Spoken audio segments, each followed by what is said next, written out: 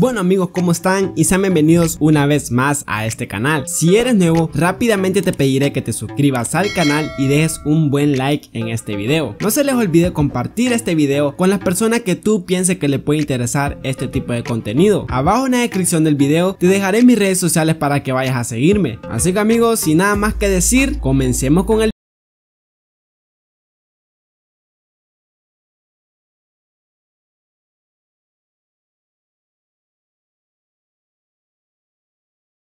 Bueno amigos, como ya le diste like al video y ya te suscribiste al canal, comenzaré hablando con el primer tema. Hace unos días amigos, yo estuve hablando de que Emilio Aguirre tenía una pequeña posibilidad de ir al Club Deportivo Olimpia. Y no quiero decir amigos que esa posibilidad haya sido descartada. Claramente sí se puede dar una pequeña oportunidad para que Emilio Aguirre pueda demostrar su fútbol y su buena experiencia que ha ganado a lo largo de su carrera en el Club Deportivo Olimpia. Pero lo que pasa amigos es que ahora Emilio Aguirre ha recibido una oferta por parte de un equipo de la Liga Nacional, ya que después de que él revelara que ya no iba a continuar con el Club Deportivo Motagua porque no le han hecho una renovación de su contrato, entonces él admitió que había una pequeña posibilidad de cambiar a otro club de la Liga Nacional porque se quiere mantener aquí en Honduras. Así que después de que Emilio había revelado esto, llegó a los oídos de muchos entrenadores de la Liga Nacional. Muchos entrenadores podrían mandarle una propuesta al jugador veterano Emilio Zaguirre. Después de que esto llegara a todos los oídos de los directivos, uno de ellos no desapareció aprovechó la ocasión y fue Ricardo Elenkov propuso públicamente al lateral izquierdo mudarse a Tocoa para hacerlo con el Real Sociedad. O sea que este directivo lo hizo públicamente que tiene las puertas abiertas para vestirse de la Real Sociedad de Tocoa, equipo donde ya le ha dado oportunidades a grandes leyendas. En el último caso fue a Wilson Palacio, que antes de retirarse tuvo una pequeña oportunidad en una temporada donde jugó con la Real Sociedad, donde él reveló que se le había tratado muy bien en ese equipo. Así que amigos, al parecer Emilio Zaguirre podría podría tener una pequeña oportunidad para jugar en otro club de la Liga Nacional. Aunque lo que pasa con Olimpia no se puede descartar aún, porque el Olimpia no ha mandado una propuesta oficial. Claramente el Olimpia no le va a mandar una propuesta a Emilio Zaguirre ahora mismo, porque no sabe si más jugadores de su equipo se van a ir a otro club o se van a quedar un año más en el equipo. Así que amigos, si se diera la oportunidad, por ejemplo, si se va un lateral del Olimpia y queda ese cupo libre, claramente Emilio Zaguirre podría ocupar ese pequeño cupo y creo que lo haría de una manera magnífica. Una de las cosas que reveló el lateral izquierdo Emilio Zaguirre fue que quiere radicar aquí en el país y quiere seguir en el equipo y jugar. Si no cuentan conmigo tendré que buscar otro equipo. Espero jugar hasta los 39 años y luego dedicarme a ser director deportivo y está estudiando para eso. Esto fue lo que admitió Emilio Zaguirre, dando a entender a todas las personas que si el Motagua no piensa contar con él, pues va a buscar otro equipo ya que quiere terminar su carrera como futbolista a los 39 años de edad para luego formar parte de los directivos deportivos de nuestro país Honduras. Así que amigos, Emilio Zaguirre está sin contrato y podría llegar a cualquier equipo de la Liga Nacional. Esperemos que Emilio Zaguirre tenga más propuestas en la Liga Nacional ya que tiene una calidad indiscutible y puede aportar mucho gracias a su experiencia que ha ganado. Así que déjame saber en la caja de comentarios en qué equipo ubicarías a Emilio Zaguirre para la próxima temporada en caso de que Motagua no desee contar con él. Ahora voy a hablar amigos sobre la CONCACAF ya que la CONCACAF tenía planeado comenzar la clasificatoria olímpica masculino en el 20 de marzo y finalizarlo el 1 de abril. Pero como ya todos saben la historia, desde la llegada de la pandemia del coronavirus al continente americano, todos los horarios y la fecha que se tenían listas se fueron a la basura. Así que amigos, la CONCACAF piensa tener y planificar otro método para que se pueda realizar el preolímpico, competición donde la selección de Honduras tendría una cabida. Esperemos que la selección de Honduras nos represente muy bien en este preolímpico y por eso les traje esta información ya que creo que es muy importante para las personas que están esperando esos Juegos Olímpicos de Tokio que aún no hemos clasificado. Esperemos que en el preolímpico podamos lograr esa amada clasificación que en los últimos años la hemos logrado. Así que amigos, actualmente se desconoce la fecha que se realizará este preolímpico, no existiendo prisa porque los Juegos Olímpicos de Tokio se trasladaron para el 2021, obligados por las mismas circunstancias sanitarias. Los dirigentes de la confederación están trabajando en un posible cambio de sede, o sea amigos que donde se iba a jugar inicialmente el preolímpico preolímpico ya no será ahí, sino que van a empezar a buscar un lugar donde se pueda instalar con las medidas necesarias para que los jugadores no puedan tener algún problema por el coronavirus, aunque no existe un pronunciamiento oficial, una de las opciones sería trasladarlo a una sede en común, el IMG Academy Stadium de Florida, y esto fue confirmado por el periodista de ESPN, Hernán Pereira, que lo advirtió pensando que un poco de lo que se hace en la MLS no le extrañaría que el preolímpico lo vayan a jugar en la academia, y eso no le extrañaría a nadie porque ya se jugó un sub-20, un sub-17, es un lugar cerrado y pudiera ser algo similar a lo que está haciendo con el campeonato de la MLS. Por si ustedes no sabían amigos, la MLS va a trasladar a todos los equipos que pertenecen a esta liga a un solo lugar, a un solo estadio donde se va a jugar todos los partidos para mantener a salvo a los jugadores y se pueda terminar la temporada de la MLS. Así que lo que piensa Pereira es que puede pasar algo similar con el preolímpico donde participaría nuestra selección hondureña. Así que amigos, creo que sería una buena idea que se juegue en el Academy Estadio de Florida, lugar donde tendría con mucho cuidado a los jugadores de todos los países que participen en el preolímpico. Así que Honduras amigos se encuentra ubicada en el grupo B con El Salvador, Canadá y Haití, mientras que en el grupo A tienen a México anfitrión en pie todavía, Estados Unidos, Costa Rica y República Dominicana. Así que amigos déjame saber en la caja de comentarios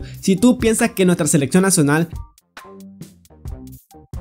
Ahora les voy a hablar amigos sobre algo que reveló Bonnie García. Como todos sabemos Bonnie García es considerado una leyenda en el Olimpia ya que por todo el amor que ha demostrado al club del Albo. Pero lo que pasa amigo es que Bonnie reveló algo que le va a conmover a muchos aficionados del Olimpia que han considerado a Bonnie como un ídolo. Y lo que pasa amigos que Bonnie confesó que su mayor amor en el fútbol no es alguno de los clubes donde se ha desarrollado en su carrera profesional. Esto lo reveló mediante una charla en el canal de ídolos mediocampista ve difícil retirarse en Honduras y espera mantenerse en el Houston Dynamo. Por otro lado, se refirió a sus encuentros con las leyendas del mundo. Antes de todo, Bonilla García empezó recordando que cuando era más joven no le gustaba ir a entrenar. Se acercaron varias personas y le decían que anda a entrenar al Olimpia, anda a entrenar a tal equipo y él le decía que no le gustaba ir a entrenar. Hasta que en un momento a otro se presentó la oportunidad de hacer la prueba en el Real Maya en primera división. Entonces junto a su amigo se animaron y se fueron a entrenar y le preguntaron que si era seguidor del conjunto seibeño, pero lo que dijo Bonilla García, lo impresionante es que él dijo que para ser sincero él era el Victoria, un equipo que está ahora descendido en la segunda división, pero que estuvo muchos años en la primera división, después del Victoria dijo que seguía muy fiel al Club Deportivo Olimpia, o sea que el amor que siente por el Victoria es mucho más grande que el Club Deportivo Olimpia, equipo donde le dio la oportunidad de poder salir al extranjero, donde gracias a ellos que fueron como el puente para conseguir es el contrato con el Houston Dynamo que le ha venido muy bien en su carrera. Así que amigos, el Victoria es el equipo de sus amores para Bonilla García y después sigue el Club Deportivo Olimpia. Así que amigos, aficionados del Olimpia, déjame saber en la caja de comentarios qué opinas sobre lo que dijo Bonilla García. ¿Tú crees que Bonilla García debería tenerle más amor al Olimpia o crees que debería tener el amor al equipo que realmente siente esos colores? Así que por favor déjamelo saber en la caja de comentarios. Así que volvemos con la temática de fútbol internacional, donde aquí hablo de temas internacionales a nivel mundial, así que lo que te voy a traer es muy interesante, ya que creo que todos los fanáticos de fútbol a nivel mundial estamos pendientes de lo que va a pasar en la Champions League, la competición más grande a nivel de clubes, así que la UEFA está diseñando el calendario para terminar la Champions, así que amárrate bien los pantalones porque venimos con esta información muy pesada y creo que les va a interesar muchísimo. La UEFA ya ha programado el calendario para la final que se disputará en Lisboa y rectificará este miércoles. El COVID-19 provocó la suspensión de la competición en los octavos de final una vez resuelta esta eliminatoria. La final de la Champions se disputará del 12 al 23 de agosto en Lisboa, unos octavos de final en la que ya están clasificados el Atlético de Madrid tras su victoria frente al Liverpool, el PSG, el Leipzig y el Atalanta. Las demás eliminatorias tendrán que resolverse en su método habitual, es decir, los partidos que quedaron pendientes en la vuelta de octavos de final se disputarán en los estadios programados la Juventus recibirá a Lyon en la Juventus Stadium. En Francia, el Lyon se impuso 1 a 0 contra la Juventus, en lo que lo está dejando en ventaja en la vuelta en la Juventus Stadium. El Barcelona jugará en el Camp Nou frente a Napoli, que quedaron 1 a 1 en San Paolo. El Real Madrid viajará a Manchester para poder intentar remontar el 2 a 1 de la ida frente al City en el Bernabéu y el Bayern recibirá en el Allianz Arena al Chelsea que quedaron 3 a 0 en Londres. La fecha programada para la final de octubre